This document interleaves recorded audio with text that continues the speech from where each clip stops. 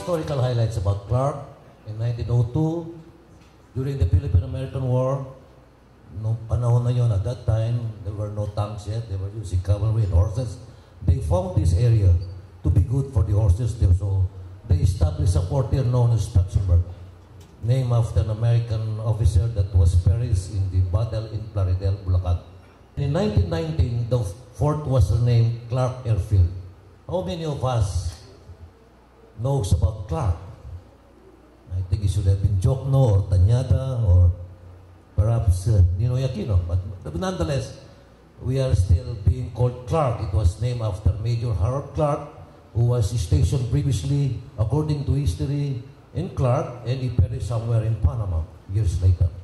Then in 1947, when the Philippine-U.S. military base agreement was signed, this entire Clark Field and the surrounding areas, thousands and thousands of hectares became Clark Air Base. And then 1991, Mount Pinatubo erupted. The renewal of the military bases agreement was not ratified by the Philippine Senate. So what did the government do? They adopted the law, the Republic Act 7227, converting the entire Clark Field and surrounding area into a special economic zone, which was amended years later under Republic Act 9400. From Freeport Zone, it became, I mean, from special economic zone, it became Freeport Zone. This is it. This is the map of the entire main zone and subzone. This is the special economic zone now. The one in blue, it's more or less 27,000 hectares. I think some of you have been hearing now about the Green City, the build, build, build part of Clark. That is where it belongs. And then the fence area, the 4,400 hectares, where we are now, is the Clark Freeport Zone. There are two corporations that manage the Clark Freeport Zone. One is the Clark Development Corporation. Today, today we have almost 100,000 employees in Clark. Around 183 to 190 billion pesos investment and additional commitment of 50 billion peso investment this coming year. And Clark export comprise 67% of the total export of Central Luzon or Region 3 amounting to $8.9 billion. The terminal at Clark used to be called MAC Terminal, meaning MAC, Military Airlift Command, for U.S. dependents and military personnel. Today, it's known as Clark International Airport with the Diosdado Macapagal. It has, it's known as CRK in the IATA code. That's why you will notice when you see your ticket CRK means Clark. IATA is the one giving the code. If it's MNL, it's Manila. The capacity of the present terminal is 4.2 million per annum. Today, these are the number of our lease agreement and our biggest locator is GGDC here. And our biggest sub-lessee is the medical city. Thank you, Mike. I went with Mike in Kuwait many years ago when we were, uh, we met with the, the top uh, officers and owner of the corporation in Kuwait, Al Sabah. And the total number of flights so far we generated last year is more than 6,000 and close to a million passengers. This is it, the 2,300. Let me ask you to pay, I take a second look, third look at here. The entire area is 2,367. If I mentioned earlier what is Clark before, the last slide is Clark today. This is what we hope to accomplish in the future for Clark Aviation Complex. We have a master plan here drawn by the Airport de Paris Incorporated. It was donated by the French government to the Philippine government during the past administration, and the French government commissioned the Airport de Paris, the one who built many, many aviation complexes, not only in France, but in other countries in Europe. And it was given to us pro bono. And we're using it. This is divided into four phases, starting this year until the next 20 to 40 years from today. The first phase. This is the existing terminal, the one circled in red. And then this is the proposed building of the second terminal with a distance between the two of them of one kilometer. This new terminal building is 8 million passenger capacity per annum. We have to commission the second runway. Some are wondering why we did decommission the second runway. The second runway was mainly utilized, was last utilized rather, when the Americans were still here. It was mainly utilized by military planes. The distance between the existing runway now and the one that was decommissioned was around 400 meters. ICAO standard rule it should be no less than one, one kilometer apart. The existing is 400, and that's why we are going to decommission it in order to establish a taxiway that would link directly to the existing main runway. And then we will build secondary access road leading to SETEC so that you need not enter the main zone to and from your destination. And then the transport terminal hub outside the air, the air side and the land side. That is the first phase. Five to seven years later, this would be the second phase. We will expand the 8 million under the master plan capacity per annum. We will double it to 16 and build another terminal across it to make a 22 million passenger capacity for these two because the design of the terminal is modular. It can be expanded as the need arises. Then of course, we have dedicated areas here, few, few hectares here for express freight terminal. That's why we're inviting, I hope we could invite FedEx to move back to Clark. They, originally they were in Subic, went to China, then we hope to negotiate with them, see if there's possibility for them to come back in the Philippines, specifically in Clark, while we are hosting some of the planes of UPS. And then there is a provision near your area, the, the cargo, dedicated cargo terminal, and then the maintenance, repair, and overhaul.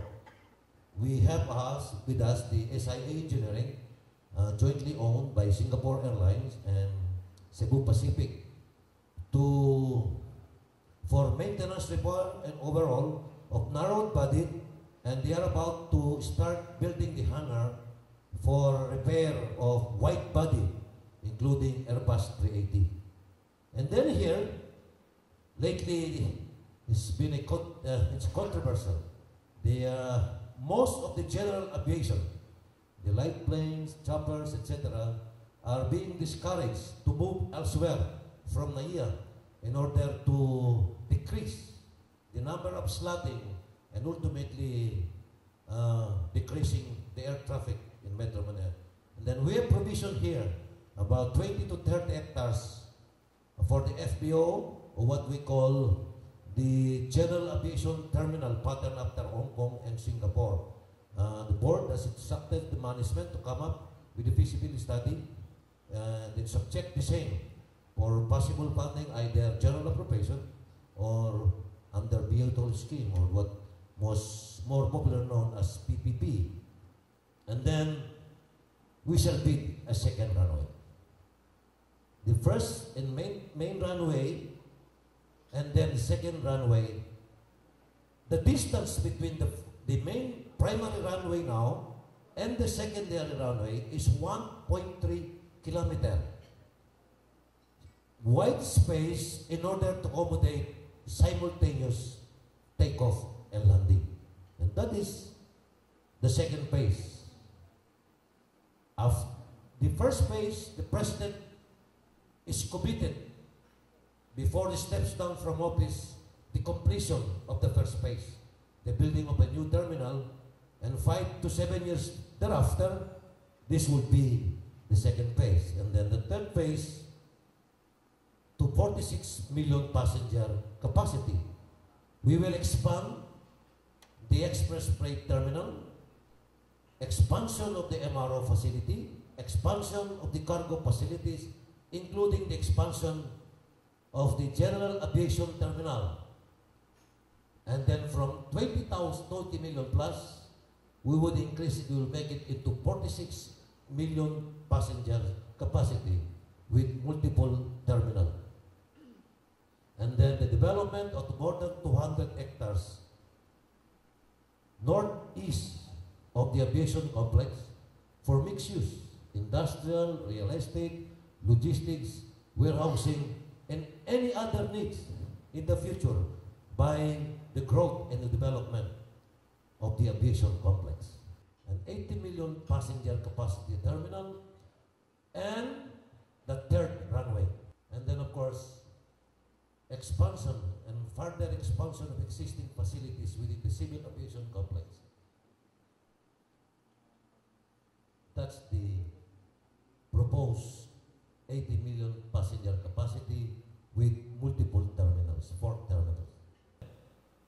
Comes from the total catchment population of southern Metro Manila up to the farthest province in southern Tagalog up to Bicol. 30 million, that is their catchment population. Now, is Clark Airport viable? Of course, sir, ma'am, it is. The catchment population of Region 1 in Ilocos, Cagayan Valley, Central Luzon, and the Cordillera Autonomous Region is 21 million. And if you include the northern Metro Manila, the Camanaba area, Caloocan, Malabon, Navotas, and Valenzuela. Some of our passengers comes from this area. Why? According to them, it is faster to drive from that area to Clark rather than from Kamanaba to Naya. That is why we are going to concentrate on this catchment population. You're going to ask us why we barely made 1 million, why do we want to build another terminal since we have not yet maximized the capacity of the present terminal? Very simple. The growth of travelers, according to aviation expert, would increase every year at least 5%. An estimated 100 million Chinese alone will be going out of China in the next 5 to 10 years. We barely welcome few hundred thousands of them. The number one tourist arrival in the Philippines are uh, Americans and Koreans. For the first time, our country, Philippines, was able to generate 5 million tourist arrival. Compare it with Thailand. Even at the height of the political turmoil in Thailand few years ago, the average 30 million tourist arrival. Malaysia, 20. We were overtaken by Vietnam already by 4 million. I will not be surprised in one year or two from now, Laos will overtake Philippines. What can you expect from Laos? Right, from those pagodas and the Siem Reap. We have so many things to offer in our country. That is why we have to move. We have to build. We have to build. It is the responsibility of our government to build. Because when you build, we believe in the mantra, build and they shall come. Do you imagine, let me go back to that. We're not, we're not an industrialized country. We consider ourselves an agricultural country, but most of the time we even import our agricultural needs. We have to develop tourism. We're going to build, build, and build, and not just concentrate the development in Metro Manila. That's why the present dispensation under President Duterte provided an impetus when he made development of its airport before he steps down from office. And what do we have now? We are happy to inform you that these are the latest flight in Clark now. The Philippine Airlines recently joined us last December 16, daily flight to Caticlan, Boracay, tourist destination. And then last month uh, uh, to, to Korea, Incheon. Their, their other domestic destinations are Cebu and Davao. Come March, we expect you to, we would like to welcome you when you want to fly to Busuanga, Coron, and Puerto Princesa. And then AirAsia is coming back to resume their flight to Kalibo and other regional destinations. I just met this morning with top official of Philippine Airlines and we're discussing the possibility that they will mount some of their flights here going to North America from Clark. I, I will be leaving next week to meet with other uh, owners of regional carriers for additional flight in perhaps in Singapore and then going to this area from these several continents, Asia, Europe, from Europe, from Africa, from North and South America, you can fly to Clark via these carriers. Asiana, we have daily flights to Incheon. Cebu Pacific, they fly to Hong Kong, Macau, Singapore, their domestic flight in Cebu. Dragonair, owned by Cathay Pacific, and six days a week uh, in Hong Kong. Jinair, they fly to Busan, that is the southern part of South Korea, and also in Incheon. The Emirates, so it's near from Middle East to Europe. Daily flights to Dubai, Qatar to Do from Doha, and then our main flag carrier, Philippine Airlines, Air Asia, and then Tiger Air. These our flights in Clark. We also have, in preparation for our freight terminal, we host to we are host to UPS and technical staff from FedEx. If there were 100, 1,000 rallies and demonstrations in front of the former U.S. military bases in Clark or in Subic. I was either a speaker, organizer, MC, or whatever you call it. I was still then a very young student. I was in college. I believe then as I do now, and more so in the future, that the future of Clark lies not in hosting military bases, but transforming it into civilian purposes. And it happened. I dreamt that before. That's why today it's a Freeport zone. At the height of the U.S. involvement in the U.S. Vietnam War, the total number of employees in St. Clark was around 17,000. Today it's close to 100,000. What more in the future? Yes, it is a dream. But I believe, and I would like to quote my favorite spiritual leader who passed away a few years ago, Bishop Dom Helder Camara from South America. When he said this, and I quote, he said, When you dream alone, you're just dreaming. When you dream with others, it is the beginning of reality. Ladies and gentlemen, join me in dreaming. And dreaming to see the reality that soon, Clark, when it is fully developed, not only the medical city, not only the GDC, not only the PLDT, but directly or indirectly, all of you here will be benefited. Then Clark will be fully developed, the economy will be fully developed, and it will contribute to the full development of our country. We have no other country except the Philippines. Let us join hands. Let us dream together once more to make it reality. Thank you very much.